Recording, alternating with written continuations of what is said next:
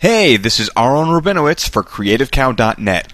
In part one of our odometer tutorial, we talked about how to set up and animate the numbers on an odometer. However, we discovered that because each number section on an odometer rotates at a different speed, animating those numbers by hand can become painful.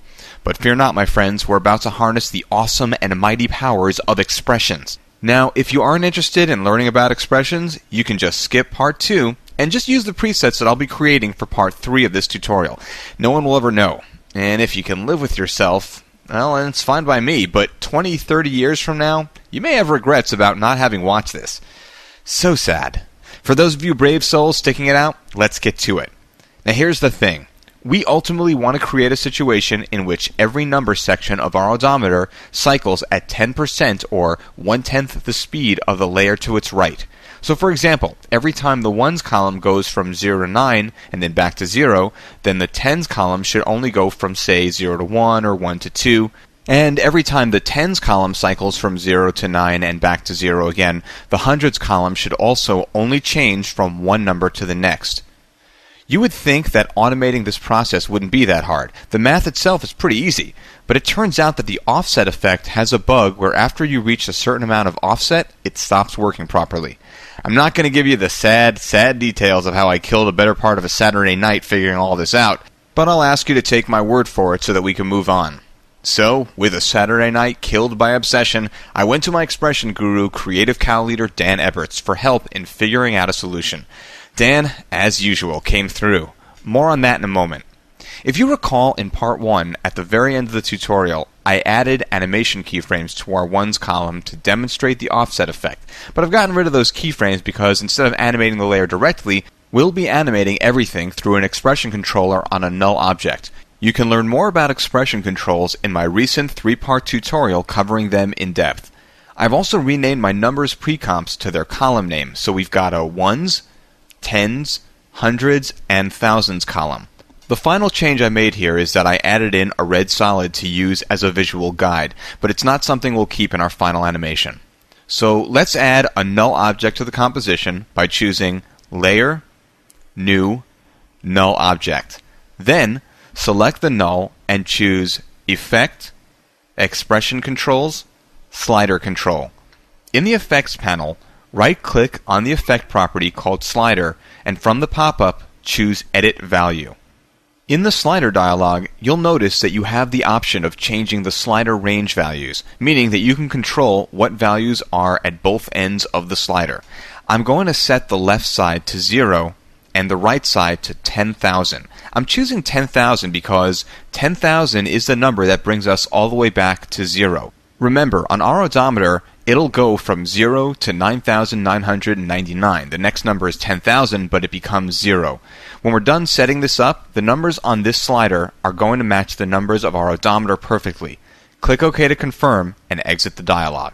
Next, select our ones column and hit E to reveal all effects, in this case, offset. Twirl down the offset effect to reveal the effect's properties. Again, the property that we're interested in is the one called shift center to, and in particular, the second part of that numerical array, the offset for the y-axis. Alt-click, or if you're on a Macintosh, Option-click on the Shift Center to property stopwatch to add an expression, delete the current expression, and then add the code you're seeing here on your screen. Rather than going really deep here, which could take a while, the short explanation goes something like this.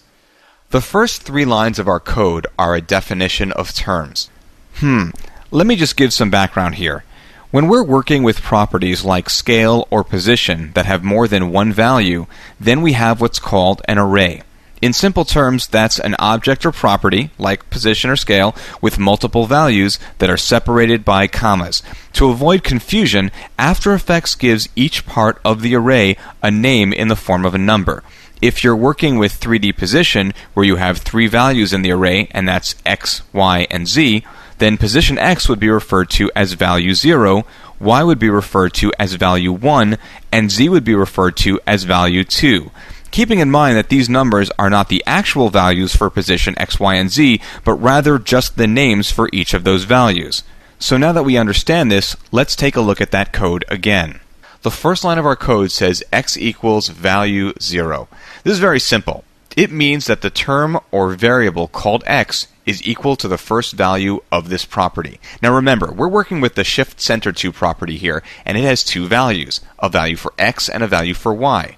Our first line of code says that the variable called x is equal to whatever value is written here in the shift center to's x value. Next, we have another variable that we've created called offset, which is equal to whatever value we have in the slider we've added to our null layer. But that's not all. We've also added this JavaScript modulus operator, which looks like a percent sign along with the number 10. This takes the value of the slider and divides it by 10, and whatever is the remainder, that's the number. If you're not sure what I mean, think of it this way. You remember from grade school that if one number doesn't divide evenly into another, a remainder is produced? For example, 2 goes into 7 three times with a remainder of 1. So the result of 7% 2 is going to be 1.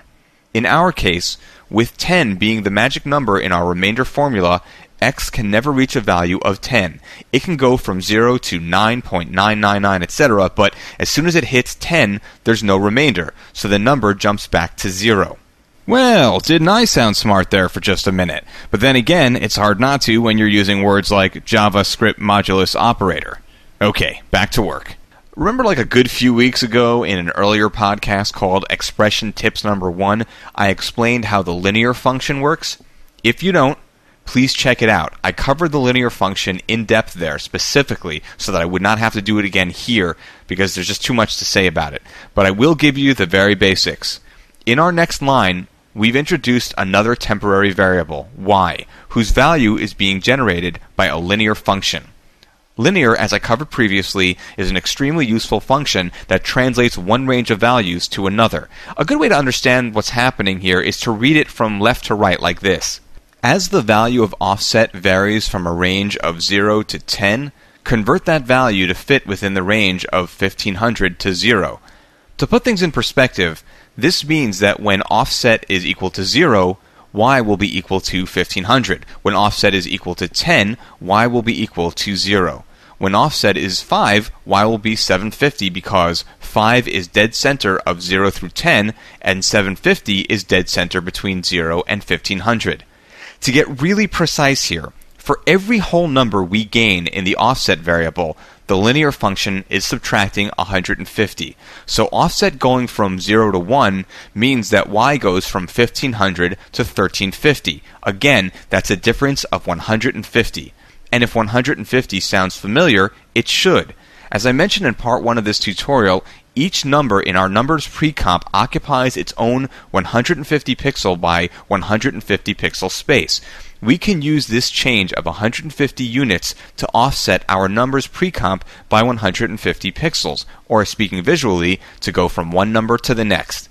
I also want to mention something about the order of the number in our linear function. In our case, we're saying that the value for offset which always falls between 0 and 10, should be converted to a value between 1500 and 0. Now, if we're trying to take a range of values that go from 0 to 10 and convert them to a range between 0 and 1500, shouldn't we write the last two parameters as 0, comma 1500, not 1500, comma 0? Normally, yes, but the offset effect works in such a way that as I offset down, or rather, as I offset towards a lower value, the numbers visually move up the screen. And while in any other instance you could arrange the numbers in reverse so that the numbers went from 9 down to 0, since we're trying to simulate the cycling of numbers like an odometer, that means keeping the numbers in the visual arrangement that I've currently got them in. Anyway, since for our purposes we need the numbers to be offset down, not up, we need to reverse the range of values to go from 1500 to 0. Now, all of this, all of the lines of code that we've just created, are just shorthand or a definition of terms for what's going to be coming up in the next line. The next line takes all of the code that we've written above and translates it into XY coordinates that the offset effect can use. Okay, so now that you have a pretty basic understanding of how this works, we have to do it for every other number column. Uh, but don't worry, this part is really easy. Select the Shift Center to property on our ones column and choose Edit, Copy, and then select the tens column and choose Edit, Paste. With the tens column still selected, hit EE to reveal all expressions, and then go into the expression and change the percent 10 to percent 100. And here in the linear operation, change the 10 to 100. This makes the entire expression work with a range of values from 0 to 100 instead of 0 to 10. And the end result is that the tens column will offset at 10% of the speed of the ones column. Now do the same thing for the hundreds column, but make it percent 1000 and 1000. And then do the same thing for the thousands column, but make it percent 10,000 and 10,000. Anyway, jumping ahead in time where everything's been set up, now as I animate the offset slider, the numbers rise. And not just that, the numbers on the slider match the numbers here at the area right below the center of our composition. I'm talking, of course, about this red area that I've got highlighted here. So if I typed 2500 in the slider, the numbers in this red area read 2500. Now you can see that the thousands column is halfway between the 2 and the 3. And that's because the 500 falls halfway between the 2000 and 3000 value. That's just the way the math works. So you're always going to have numbers that are not perfectly aligned as they move up. On the other hand, if you're one of those people that prefers the numbers on their odometer to work in the way that you're seeing now, and that's so that the numbers on the left side don't change until the numbers on the right side are going from 9 to 0 and starting the cycle over, then you'll be happy to know that Dan Ebberts sent me an expression that will do just that. So now, if you typed something really random like 2348, you'll actually see 2348. Now that is a beautiful thing. Oh, and uh, I'm not even going to try to explain that expression, by the way. Anyway, we're not done. I want this to look like an odometer, and this doesn't. So a little framing, a little 3D and lighting, and perhaps some internal shadows wouldn't hurt. Am I right? Am I right?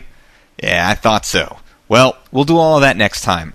By the way, if I've whet your appetite for expressions, check out the feast at Dan Ebberts' Expression Lab, which you can find at www.motionscript.com. Don't forget, you can get the files for this and other podcasts at www.creativecow.net forward slash AE podcast. Once again, this is Aharon Rabinowitz for creativecow.net.